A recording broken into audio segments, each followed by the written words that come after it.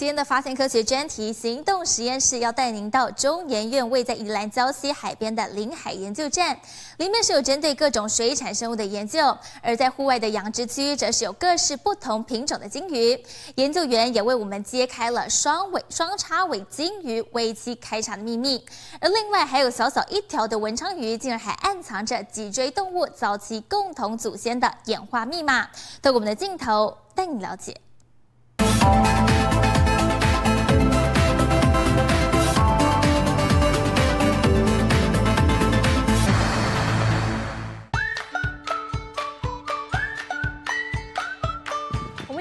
来到临海研究站的户外养殖区，后面可以看到有好多的养殖槽，里面呢都养了不同的鱼种。那现在看到这一缸养的是金鱼，我们就找到了金鱼领域的研究专家 Top One 的泰田老师。你好，太田老师好。好。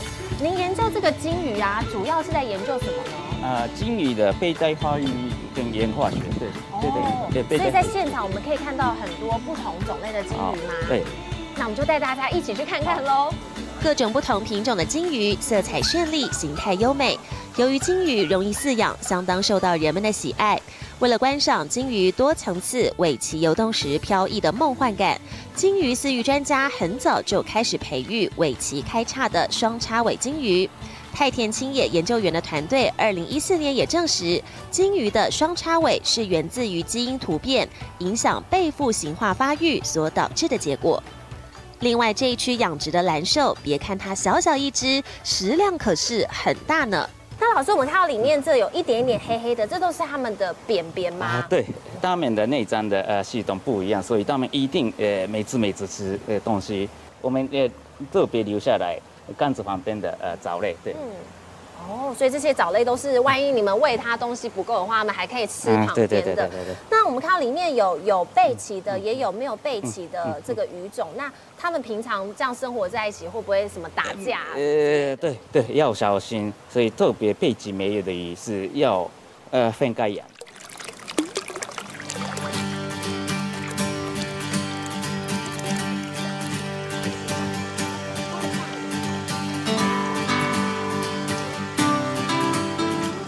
老师，我们看到这边有一缸上面写隔离检疫中，他们该不会中了 COVID-19 吧？呃，不是不是，但他们是有可能那个细菌还是病毒感感染，还有寄生虫呃在在缸子里面有可能有，所以我们隔离起来。看完了室外试验池，接下来我们要带大家来看看体型更小的文昌鱼，它身上竟然藏有几所动物祖先演化的密码。我们可以开灯看一下，其实。每一个箱子里面就是都有文昌鱼，那现在还不是它的生殖季，它还在持续的累积它的生殖腺。那大概到了夏天的时候，我们就是可以开始拿到它的这个精卵，就是要模拟一个对它的晚上的环境对对，所以这些都要拉起来对对对对对。所以这边就可以看到每一个箱子里面大概有一百只到两百只左右的文昌鱼。那我们同样我们会在这个这个水缸里面放一些沙子。模拟它自然生活的环境，就是那黑黑。对对对对对对对，其实就是它原来它头钻出来的那个洞，因为现在有光就缩回去。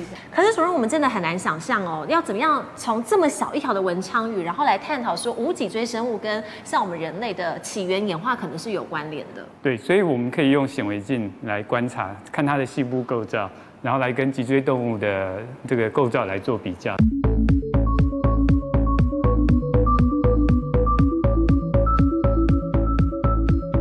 这边就是它的鳃裂，这是脊索动物的重要特征。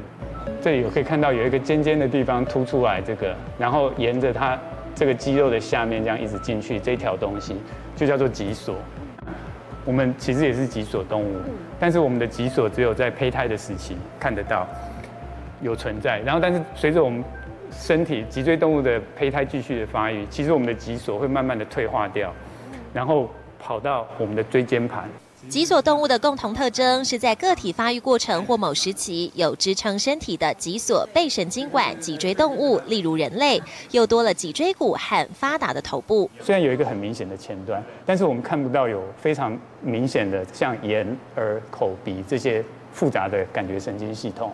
文昌鱼的这种状况很有可能就是代表在早期的脊索动物演化的的的过程里面，脊椎动物的。早期的共同祖先可能就长得很像这个样子。